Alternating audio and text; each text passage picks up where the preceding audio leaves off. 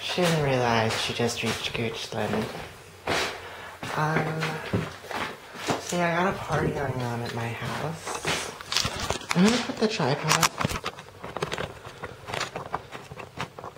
and let the camera watch itself.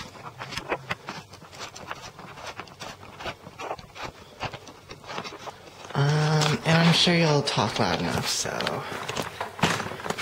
Oh, I'm just gonna put it up in the middle of nowhere. Camera down. Where is that hoe? She's creepy. This is the only thing that I've done today, and I guess no.